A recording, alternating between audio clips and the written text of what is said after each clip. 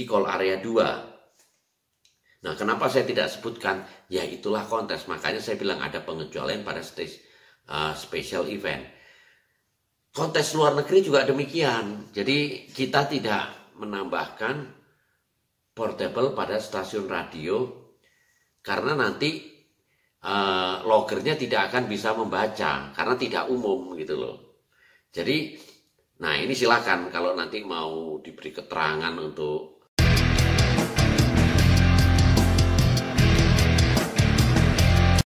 Assalamualaikum warahmatullahi wabarakatuh. Hello Ham Radio. Semoga kabar baik ya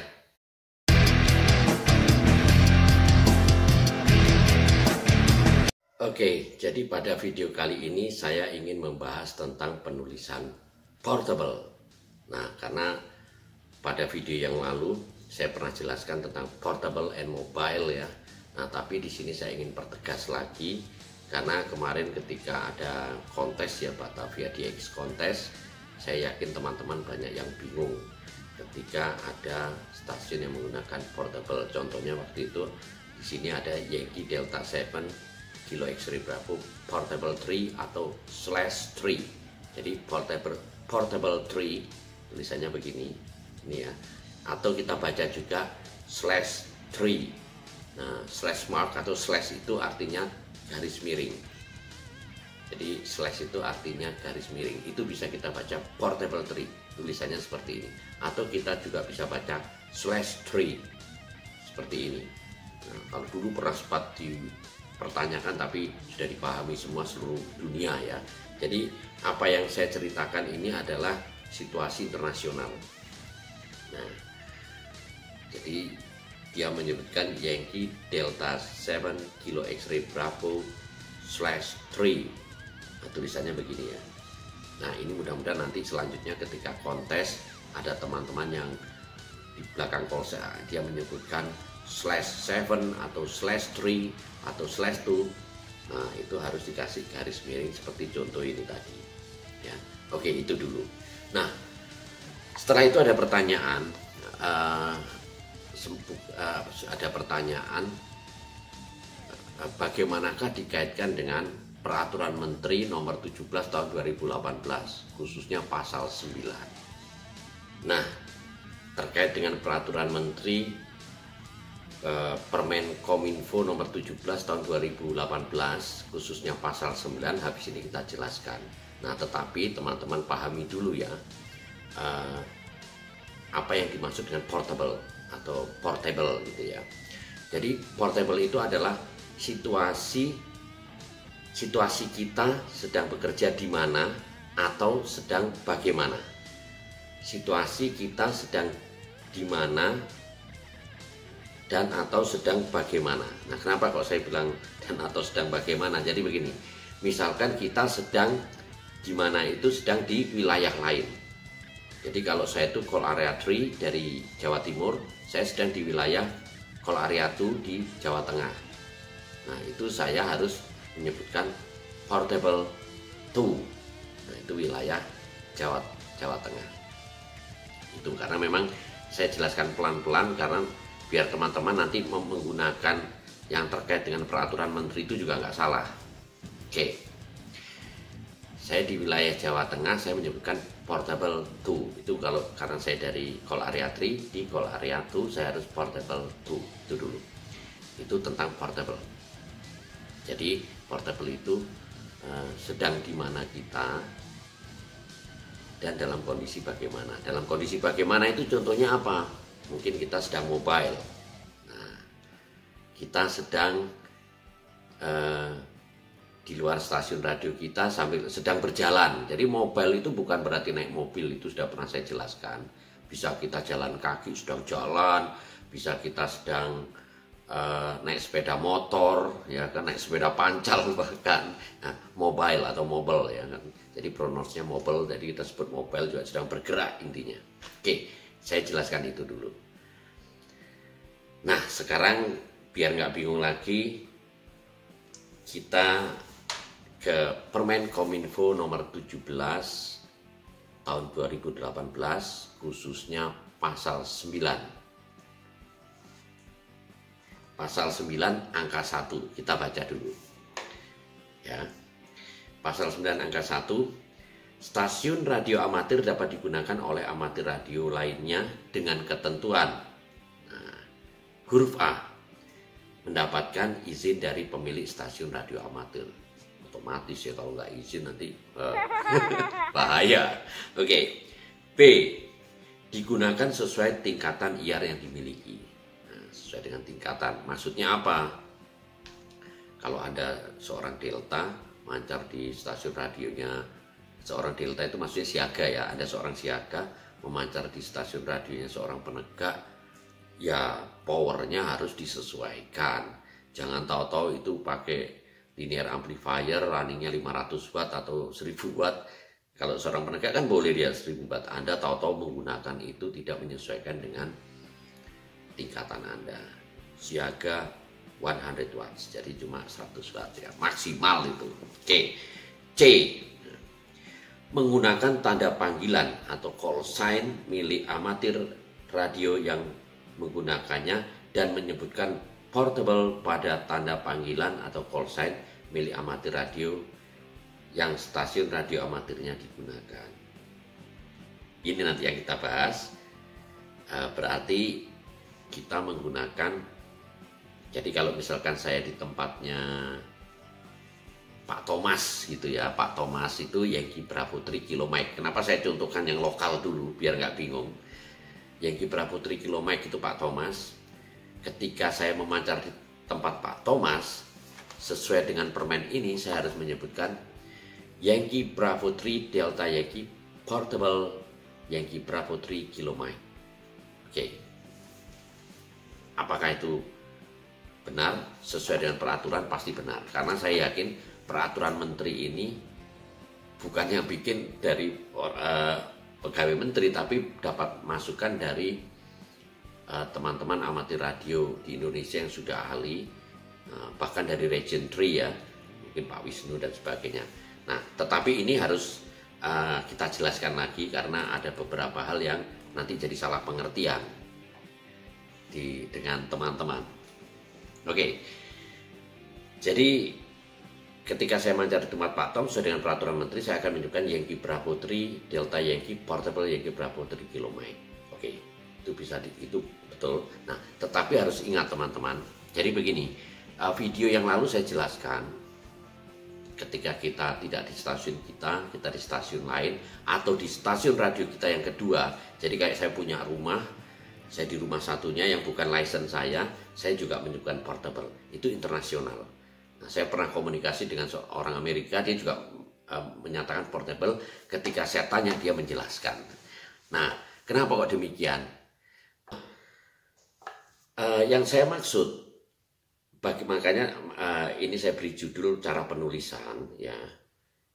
Jadi kalau kita menyebutkan sedang komunikasi, ketika kita join, ya, ketika join pada satu GSO ya, nah, ada teman-teman sedang GSO, seperti biasanya kita catat dulu beberapa terus kita join jadi kita minimal nunggulah 2-3 menit untuk mencatat siapa saja yang komunikasi masuk dengan menyebutkan call sign kita nah menyebutkan sign kita itu kalau di Indonesia itu kan biasanya cuma safik tapi kalau bisa ya full sign ya nah, kebetulan saya di tempatnya Pak Tom saya di tempat Pak Tom teman-teman ada yang GSO misalkan uh, Yankee Bravo Six Hotel Alpha India dengan Yankee Bravo 4 Golf Bravo November. Nah, sedang GSO saya join. Masuk Yankee Bravo 3 Delta Yankee Portable. Saya masuk. Nah, akhirnya diterima oleh Yankee Bravo Hotel Alpha India, Om Anda Yudas. Nah, oke okay, Yankee Bravo 3 Delta Yankee Portable silakan. Yankee Bravo Hotel Alpha India, go ahead. Nah, Om Anda terima saya masuk. Ya oke okay, Om Anda, Yankee Bravo Hotel Alpha India, Yankee 3 Delta Yankee, Portable Yankee 3 Kilomite. Anda 59 di kota Malang. Nah, dan seterusnya dan seterusnya. Over, nah dan seterusnya itu maksudnya kita ngomong yang lain ya. Karena saya sudah kenal, jadi saya nggak berkenalan dengan Om Anda karena saya sudah kenal. itu boleh, itu bisa diterapkan pada rejuing karena Om Anda akhirnya tahu. Nah, tetapi uh, itu pada rejuing. Jadi sebenarnya kenapa kok saya bilang portable? Uh, itu adalah bagaimana uh, gini dulu. Kenapa kok saya terapkan dulu uh, hal itu terjadi pada rejuing? karena pada special event atau especially atau special event atau special event ya special event itu apa aja special event itu contohnya kontes contohnya lagi special call contohnya lagi ses atau special event station ya yang stasiun special uh, stasiun biar khususnya ada banyak terus nanti kita nyari itu ya. Nah atau special uh, ya special call ya. Nah itu ketika saya di tempatnya Pak Tom, ketika mereka sedang CQ, itu banyak stasiun atau pile up istilahnya ya, termasuk saya, itu saya akan teriak, akan masuk ya, karena saya juga ingin didengar, Yankee Bravo 3 Delta Yankee Portable. Sampai saya diterima, akhirnya saya diterima.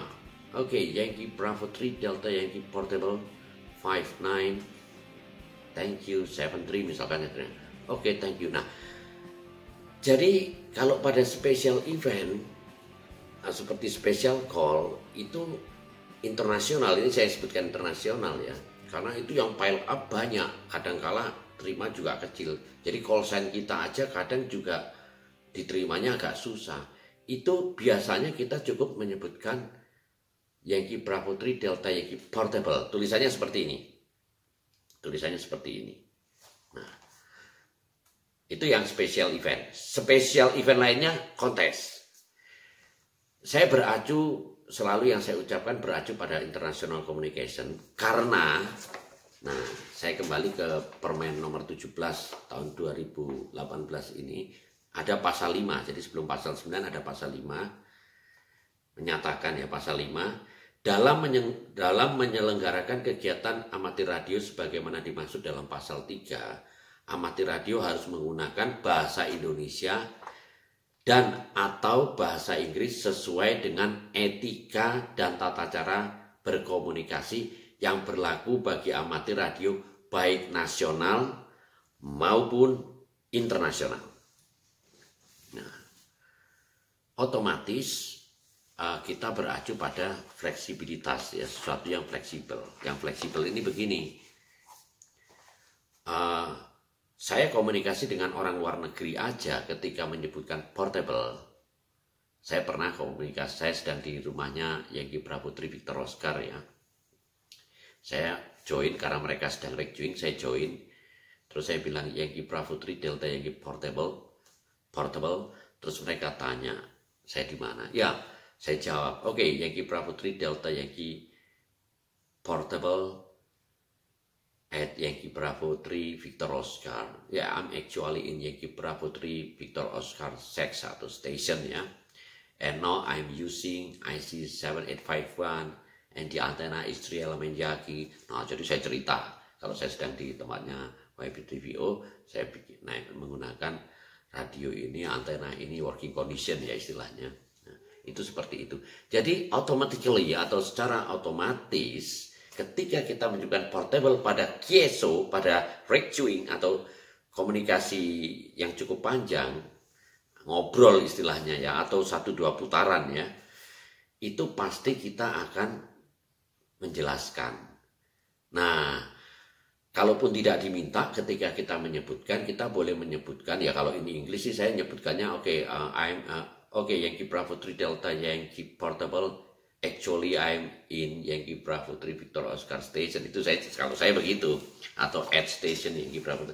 Nah, tetapi ketika kita menyebutkan Yankee Bravo 3 Delta Yankee Portable Yankee Bravo 3 Victor Oscar, mereka juga akan paham. Karena mereka juga mungkin akan lognya, mereka mungkin akan ngelok, istilahnya ngelok ya kalau log sheet itu kan kalau zaman dulu ditulis pakai kertas ya Zaman sekarang juga masih ada sih yang pakai kertas. Tapi kalau yang sudah maju ya yang sudah peralatannya lengkap biasanya mereka ngeloknya lewat logger, lewat komputer, computerized ya. Jadi mereka tinggal ketik Yankee Bravo Putri Delta Yankee Portable nah, slash P ya, ini tulisannya. Atau mungkin juga dia tambah lagi slash anu slash Bravo Putri Victor uh, slash atau atau Yankee Bravo slash P ya biasanya gitu. Dia tambah lagi keterangan. Itu terserah mereka. Karena ini Regjuing itu dia mau tambah keterangan yang Kibra Putri Victor Oscar juga di belakang portable itu tadi atau terserah saya itu terserah mereka karena itu keterangan. Nah, yang mau saya bahas di sini adalah special event. Nah, jadi apakah ini harus di, bisa diterapkan pada special event seperti kontes, seperti special call? Ya, mungkin kalau diterapkan oleh karena sekarang orang yang special call petugas itu sudah pakai logger atau pakai contohnya aja N1MM yaitu salah satu contoh aja yang sudah dikenal yang saya sebutkan banyak logger ya. Nah itu biasanya saya cuma ketika saya join saya cuma menyebutkan Yankee Bravo 3 Delta Yankee Portable Your 59 thank you 73 mereka akan nulisnya begini Yankee Putri Delta Yankee Portable. Jadi slash papa atau kita nyebutkan slash papa juga boleh mereka paham. Itu kalau satu area. Nah kalau saya di call area lain, misalkan saya di call area itu tempatnya Pak Budi DX ya Yankee Bravo itu Delta X-ray. Saya harus menyebutkan Yankee Bravo 3 Delta Yankee Portable 2 atau Yankee Bravo 3 Delta Yankee slash 2 tulisannya seperti ini.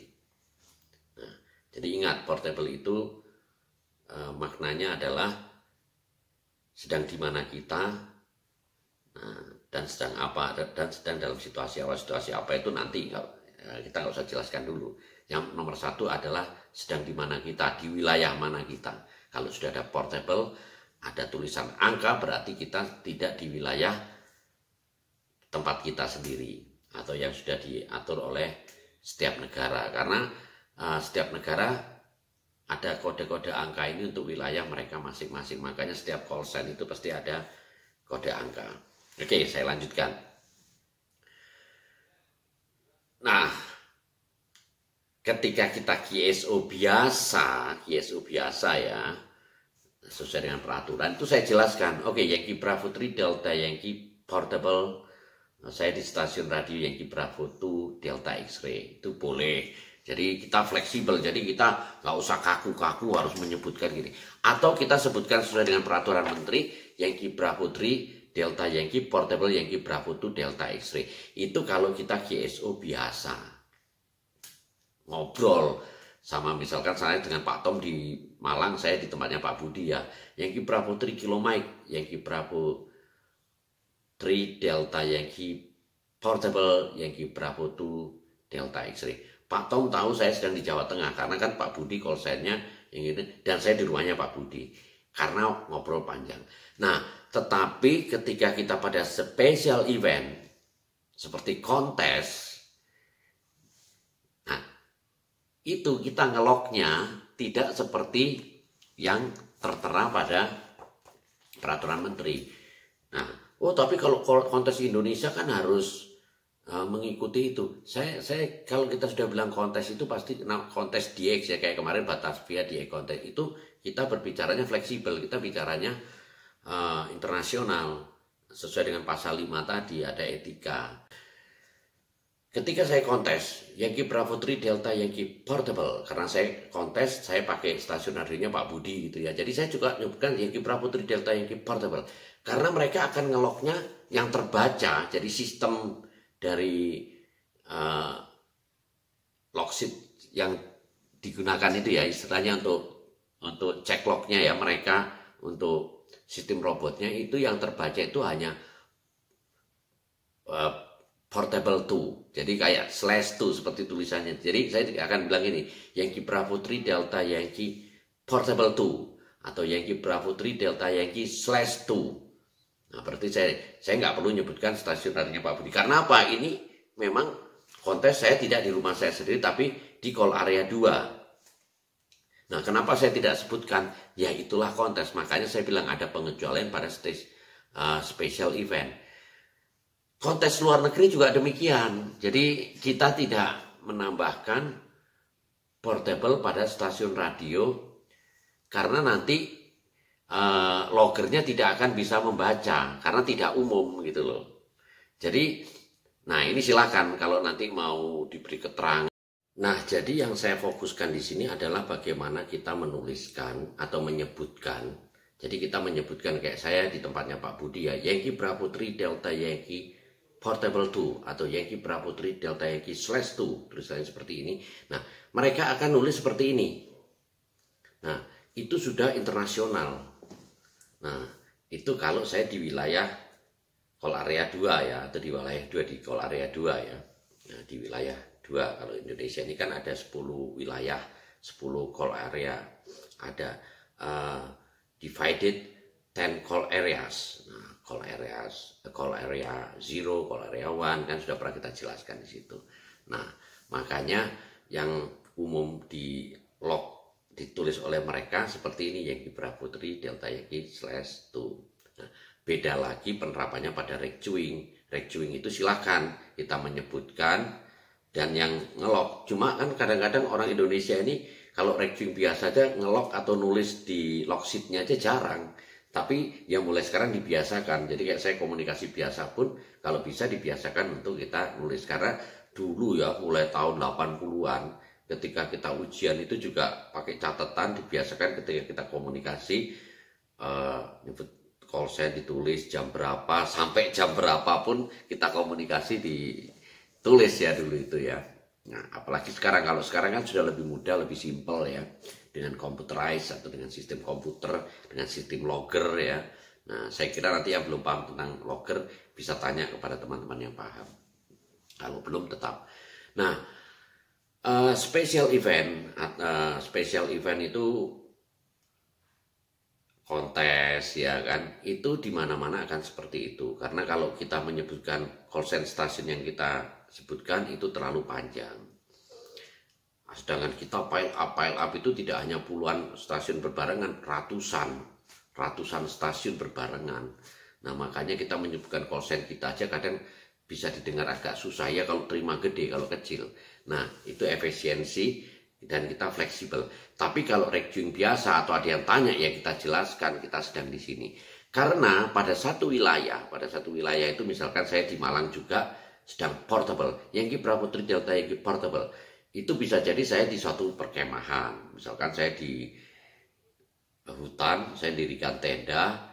Nah, otomatis saya nyebutkan portable. Nah, seperti kayak teman-teman yang IOTA ya. Di suatu pulau kayak Om Din itu Yankee Bravo 8 Romeo Whiskey. Dia di pulau terpencil di wilayah Call Area 8, di wilayah 8 juga. Di wilayah 8 dia menyebutkan Yankee Bravo 8 Romeo Whiskey portable. Nah, nulisnya seperti ini. Atau mengucapkannya Yankee Bravo 8 Romeo Whiskey slash Papa. Itu juga boleh. Nuliskannya seperti ini. Jadi Yankee Bravo 8 Romeo Whiskey Portable sama dengan Yankee Bravo 8 Romeo Whiskey slash Papa. Kenapa kok disebutkan slash Papa? Kadang orang bingung kalau hanya nyebutkan Yankee Bravo 8 Portable, nulisnya padahal sama. Nah, biar nggak bingung makanya saya bikin video ini. Nah, itu kalau uh, di wilayah yang sama. Kalau di wilayah yang lain, saya di call area 6 di tempatnya Om Anda. Yankee Bravo 3 Delta Yankee Portable 6. Yankee Bravo 3 Delta Yankee slash 6. Bukan slice ya, tulisannya seperti ini. Slash. Ini ya. Ini slash artinya garis miring. Cara menulis call sign-nya seperti ini. Yankee Bravo 3 Delta Yankee slash 6 atau portable 6 nulisnya seperti ini. Nah, kalau ranking biasa, itu kalau kontes ya, saya kontes tempatnya Om saya cukup menyebutkan itu. Karena biar sistem robot untuk cek lognya itu mereka e, bisa terbaca dan juga singkat. Karena namanya kontes itu kan cari call sign yang singkat.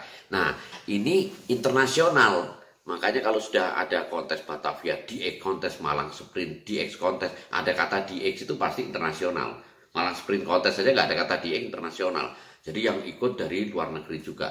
Apalagi kalau kita juga ikut international contest, ya kan? International contest itu yang ada kan uh, Australia, yang ada kan Amerika gitu ya, atau Hungaria ya kan. Jadi banyak sekali negara. Kita cukup menyebutkan portable kalau tidak di stasiun radio kita sendiri. Entah itu di perkemahan, entah itu di stasiun lawan. Nah, kalau kita di negara lain, misalkan saya di Filipina, di wilayah satu, biasanya di depan. Ada yang menyebutkan kita ada teman kita ya dari Amerika misal kita aja deh kita aja. Karena kita sudah dapat izin juga memancar di sana ya kita sudah dapat izin tapi yang tapi biasanya yang agrikul apa uh, yang sudah hubungan imbal balik ya. Nah itu kayak kayak Amerika. Amerika itu pernah ada anggap aja ini saya agak lupa tapi November 7 Delta Kilo November 7 Delta Kilo dia di depannya itu dia menyebutkan Delta United One Portable Nah, jadi portable itu istilahnya November 7 Delta Kilo. Jadi maksudnya slash atau Delta United One slash November 7 Delta Kilo. Nah, berarti dia sedang di wilayah Filipina, di wilayah One karena dia sebutkan Delta United One. Di Filipina di area One.